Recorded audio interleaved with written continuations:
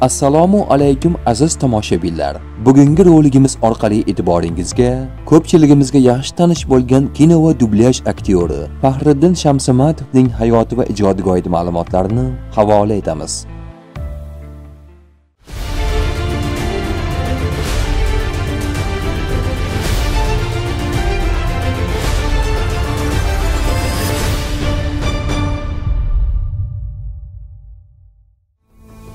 Taniqli kino va dublyaj aktyori Fahriddin Shamsimatov 1970 yilning 1 noyabr sanasida Toshkent shahrida tug'ilgan.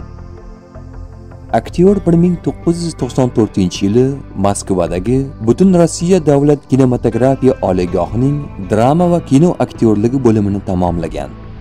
Ushbu oliygohda u elimiz suygan aktyor Tolib Muminov bilan bir kursda tahsil olgan. Fahriddin Shamsimatov tomoshabinlarga asosan kino va dublyaj aktyori sifatida tanilgan bo'lsa-da, 1996 yildan buyon rejissyorlik faoliyati bilan shug'ullanib keladi.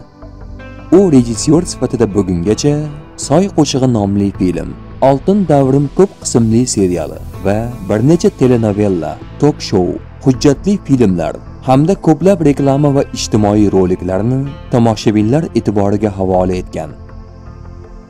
Ushbu aktyor faoliyati davomida hozirgacha Egizaklar, Sardor 2, Haqiqiy erkaklar ovi, Yoshsiz yil, Haqiqat kuni, Akaxon va behbudiy kabi o'nlab film va seriallarda suratga tushgan hamda bu kinokartinalarda esda qolarli obrazlarni gavdalantirgan. Fahriddin Shamsimatov xalqimizga nafaqat kino aktyor, balki mahoratli dublyaj ustasi sifatida ham yaxshi tanish bo'lib, bugungacha o'nlab xorij va o'zbek filmlaridagi qahramonlarga ovoz bergan. U xorij filmlaridagi aktyorlar bilan bir qatorda ko'plab o'zbek filmlarida Sardor Rahimxon, Ravshan Sobirov, Jo'rabek, Otabek Mutalxo'jayev hamda Bobur Yo'ldoshev va Farruh Soipov kabi o'zbek san'atkorlariga ham ovoz bergan. Priya men sendan bir gapni yashirgandim. Qariya hamma gapdan xabardor. Abdulloh sir saqlash uchun 5 million rupiya pul talab qilyapti. Agar ertaga qo'liga pul tegmasa, unda rajga borib hammasini aytib berar ekan. Nima? Lekin sen xavotirlanma. Men unga hayotingni barbod qilishga yo'l qo'ymayman. Bo'g'zidan olib bo'g'izlashga ham tayyorman. Yo'q, Karim. Sen bunday nojo'ya ish qila olmaysan. Unda pulni qayoqdan olamiz? Fahriddin Shamsimatov san'at sohasidagi uzoq yillik ish faoliyati orqali ko'plab yutuqlar va mukofotlarga sazovor bo'lgan.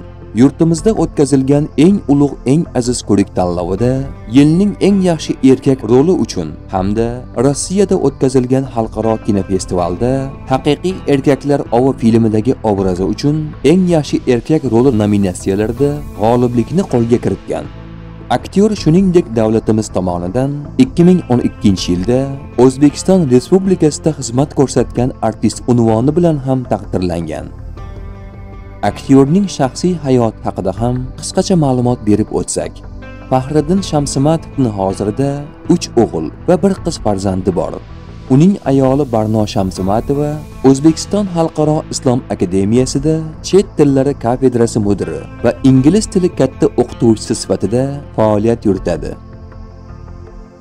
Bugungi kunda 51 yoshdan oshgan faxriddin Shamsimatov dublyaj rejissyori sifatida o'z faoliyatini davom ettirib kelmoqda. Roligimiz yakunida ushbu san'atkorimizga mustahkam sog'liq va oilaviy xotirjamlik kelgusidagi ishlarida esa ulkan yutuqlar tilab qolamiz.